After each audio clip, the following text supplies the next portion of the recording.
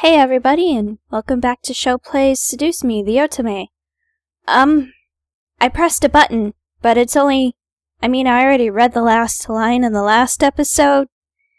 But yeah, I didn't mean to press a button, and I'm not used to these, so I don't even know if there's a back button. Anyway. Huh? Who the heck are these guys? Why are they here? What's going on? Some of them had open wounds. The blood was staining the floor and the scent was intermingling with the air. Ugh. Couldn't help but feel bad for them instinctively. But nevertheless, I was shocked and a bit angry at the sudden intrusion. My mind suddenly went from caring and concerned to confused and demanding answers. I, I would be too. Yeah, why are they in here? And who are they? You said they, right? Who are you guys? No response. Oh, poke him with a stick. I'll call the police. Still nothing. None of them seemed to be awake to answer or respond to me. It seemed surreal to have random strangers in the house I just moved into, but I wanted answers, quickly. That was until. Eh, Get away from me!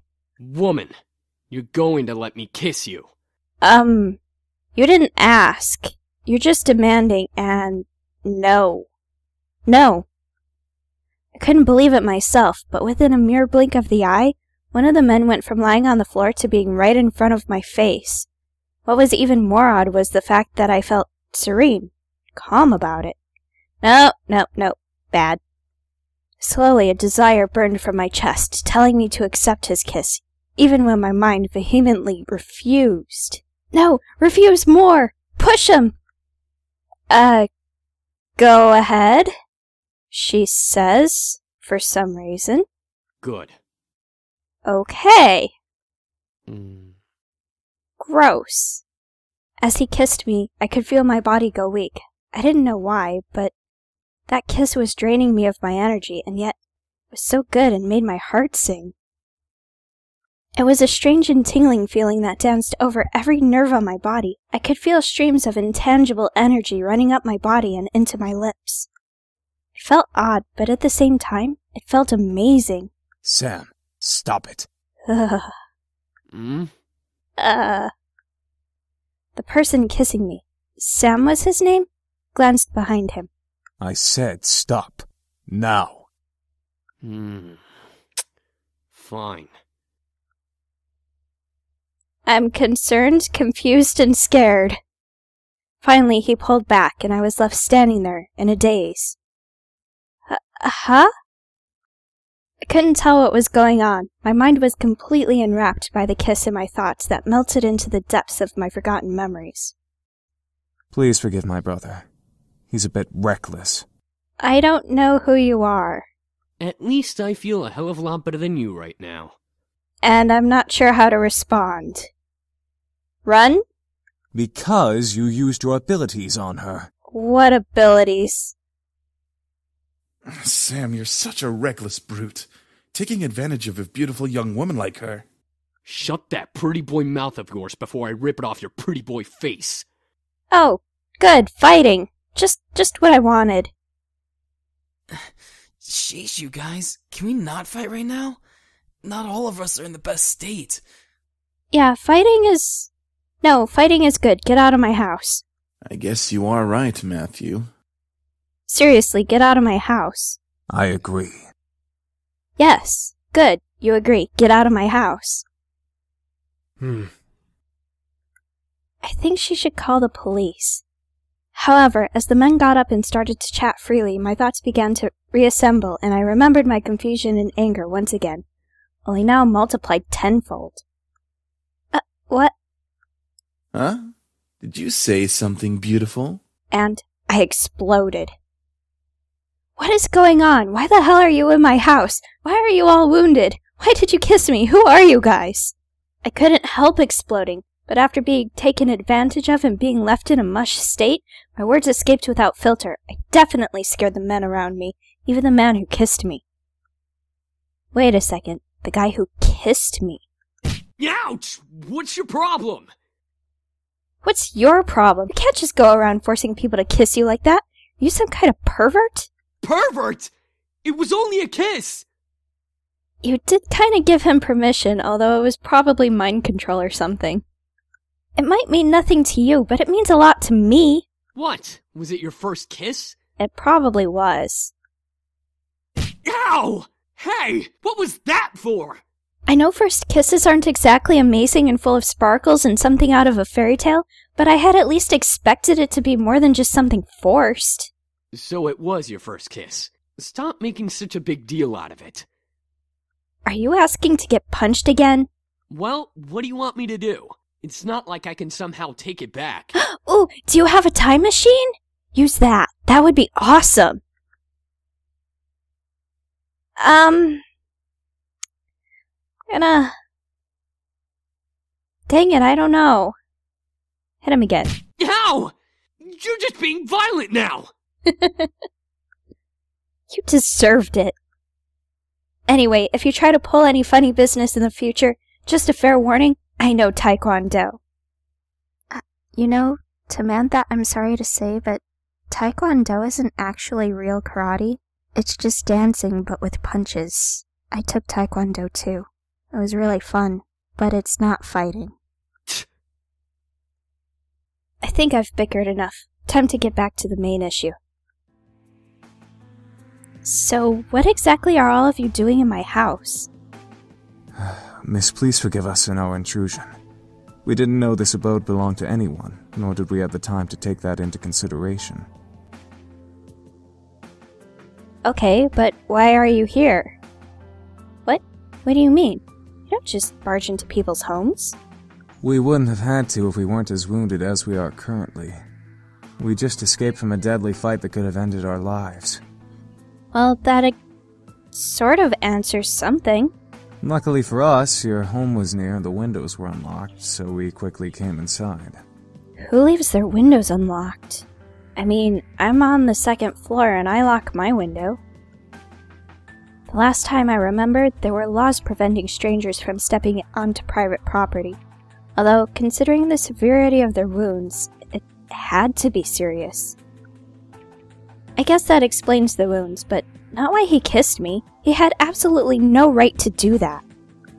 Well, lovely flustered lady, it's hard to explain, truly. We're not exactly normal. So you're just wandering perverts who are injured? Not normal. What are you guys, demons or something? I asked, almost jokingly, but the boy seemed to take my question differently.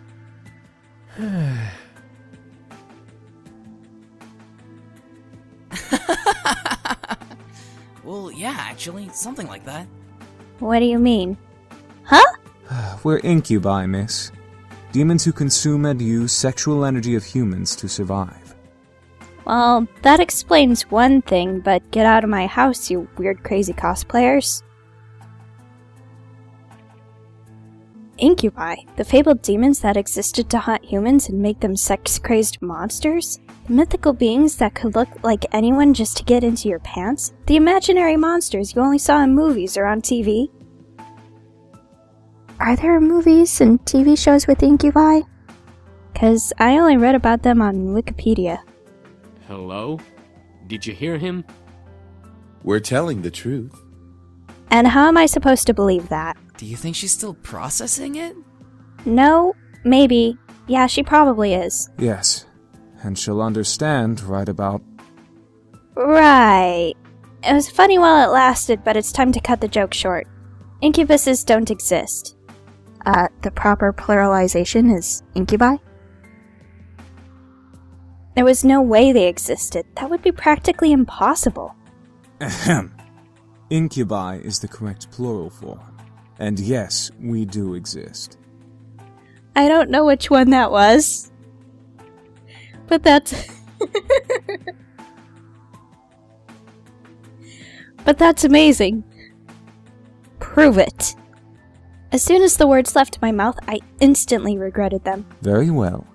Eric, go ahead. Which one is that?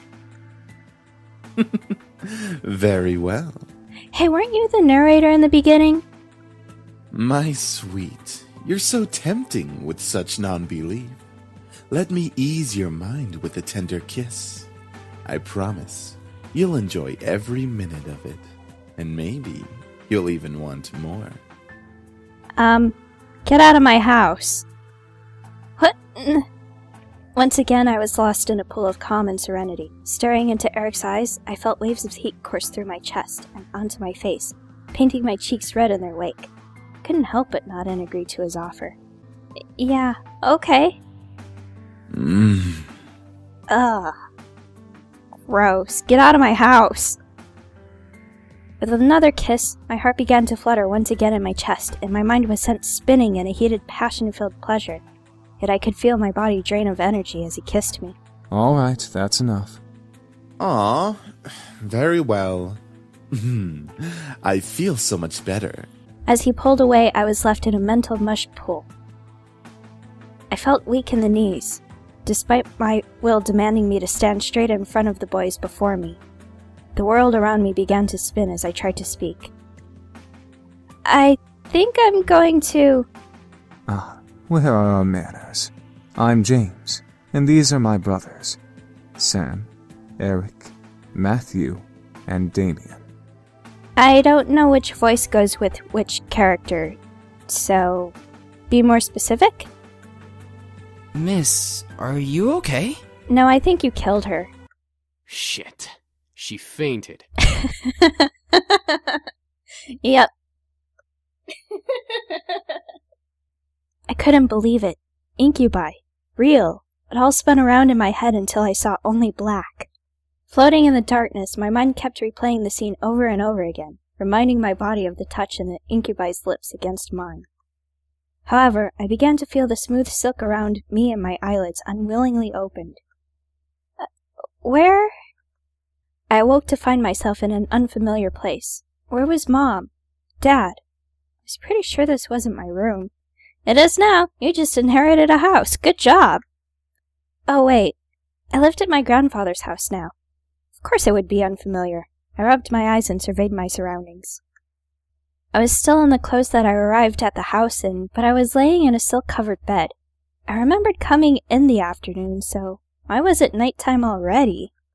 Suppressing a yawn, I stretched my arms. Maybe I should order some food for delivery. I was feeling pretty hungry. I was about to sit up, but I suddenly realized that I wasn't alone. You're awake. Okay, so portrait, name. I'm not gonna remember that. Huh? Since when was he standing there? And who the heck was he? A guy in my bedroom? Did we? There's no way. Hmm. Sorry, I was saying my thoughts aloud. Why was I apologizing? To a stranger who only said two words since I woke up? Wait, he looked eerily familiar. Then it all came back to me. Incubus. He was an incubus. He and his brothers came here for refuge, and two of them kissed me, and then I fainted. That was how things came to this. Oh! he was leaning against the far wall looking at me. My heart began to race as I thought of the endless list of possibilities this situation brought me. I hated the thought of being under an incubus's power, especially in a bedroom. Uh, um. I instantly jumped up and grabbed a pillow, covering myself with it. I felt stupid, yes, but who knew what this guy could do? And if a pillow is even proper protection, you should have grabbed a lamp. Do your worst. This time I'm prepared. he didn't move. I guessed that he wasn't going to attack me. Don't drop the pillow. You need it. Or pick up a lamp, a book, anything. Sorry. One thing still concerned me, though. I'm not going to use my powers on you. Better not. Huh? How? I can read minds. It's an ability I was born with. Each of us has a different ability, outside of our usual mind-altering powers. Well, can you, like, keep it down and not do that? Because that's creepy and I don't like it, and I prefer privacy, thanks. Great. Even more surprises. I grew even more worried about the situation I was in. I see. How long have I been asleep? For a few hours. it's already gotten quite dark outside. Go order me a pizza if you're not getting out of my house. Uh, well, where are the others? Why are you watching me sleep? You know that's creepy, right? It's creepy. My brothers are downstairs, cleaning up the blood from the lobby floor. and making you dinner as an apology. Oh, good, then you don't need to order a pizza. Thanks. Oh, okay. That's unexpectedly sweet. Oh, it's the least we can do after invading your home and two of us using our powers on you. I know, right? That was so rude. You've got a point. Right. I had forgotten about that. It still irked me that they had practically taken advantage of me at that point. Even if they were demons, it was pretty rude to demonstrate their powers by kissing me. I wasn't some kind of human plaything. All of this seemed pretty unreal. It was like something out of those romance novels that people sometimes read. I wished I could have just went back to sleep and forgotten all about this. Yeah, but that's another thing that's creepy too. Don't. Stay awake. Maybe I should have just called the police on them. Then I would have never landed myself in this situation. It's not your fault, they're demons. Uh, do you feel well enough to get out of bed? Will there be pizza? Y yeah, I think so. Whoa. Trust me, I won't let you go. Please do. I prefer standing on the ground, and don't touch me. Uh, I'm not so sure about this. I promise. No, seriously, put me down. Uh, okay. I trust you. For some unknown reason, put me down. Good. I was speechless. He was carrying me as if I weighed nothing. He was so strong. Thank you. Dang it, I forgot about the mind reading powers already. Oh yeah, I forgot. It's all right. I'm used to it. Well, you could at least not respond to what I'm thinking. At least then I'll I can at least forget. I decided to close my mouth for the time being so that I wouldn't weird him out or make things more awkward than they already were. Well, he didn't seem to mind carrying me or listening to me talk, so at least things weren't too strange. Oh no, they're very strange. I want to walk. Damien seemed very quiet and calm about everything, especially with the situation we were in. However, there was a sort of longing in his eyes when he looked at me that wasn't lustful. It was more an admiration? Once we reached the lobby, I decided that I felt well enough to walk on my own. As strong as he was, it was like it was carrying nothing. I didn't want to make him carry me everywhere. Yeah, that would be mortifying. Thanks for carrying me and all, but I think I can walk by myself. Not that I didn't like it. I mean, I liked it. Not in a weird way, of course. It's not like I get carried around all the time. What I'm trying to say is that it was really nice of you to do that. I started to fumble over my words again. Real smooth. It's no problem. I'll be heading to the dining room then. All right, see ya. He gently lowered me to the ground before he walked off quietly, disappearing into the shadows of the dark lobby. Oh, hi! Hi! Suddenly, a boy who looked around my age, or possibly younger, bounced up to me. He looked vaguely familiar. Oh, wait. Ah, uh, you're Matthew, right? How do you remember these things? You must be good with faces and people, and people must like you. Mm-hmm, that's me. Are you feeling any better now? We were all worried when you suddenly passed out. I'm fine. Really? Your face is kind of red. Do you feel sick? Oh yes, of course, I'm dying. Where's my pizza and get out of my house? No, I'm fine. I'm sure of it. I must have been blushing when Damien was carrying me downstairs. How embarrassing. Well, if you say so. I hope Sam and Eric didn't make you upset. Ah, a few more punches and I'll be fine. It's okay. After all, I did hit Sam after what he did. And about Eric, I just wanted you guys to prove to me what you were saying. Suppose incubi are real, then? I wondered how exactly I got myself into this mess. First my grandfather, then a fight with my father. Blowing up at Lisette, and now this? I certainly had a knack for getting myself into sticky situations getting yourself into these situations, they just kind of sprung up on you. It's okay. Hmm. Oh, I have an idea. What kind of idea? He shoved his hands into his pocket with a cheery grin on his face. Wait for it. Wait for it. I'm scared. Is he trying to do a magic trick? Ta-da! Oh, it's a... Squirrel? Rabbit? I'm not. Does it have a knife? Uh, what is that exactly? He smiled as if to wave it off, but then he opened his eyes and saw what he was holding. His face froze in shock. Wait a second. What did I just make? This, this is. Some sort of squirrel rabbit with a knife. What he produced from his pocket was a creepy looking doll. Ah, what is that?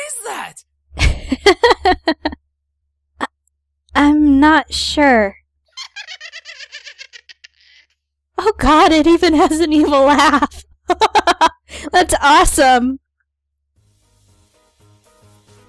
His face paled considerably and he dropped it onto the floor, scooting away from it frantically. Get it away from me! It might be possessed by a demon or something! Uh, dude, you're a demon or something. But isn't he a demon himself? That's not what I wanted to make! I just wanted to surprise you with a stuffed animal or just something to cheer you up. That looks like it came straight out of a horror movie. It's kinda cute. He slumped his shoulders and looked down at his feet. Ah, it's okay. You don't have to look so dejected. I mean, it's certainly unique.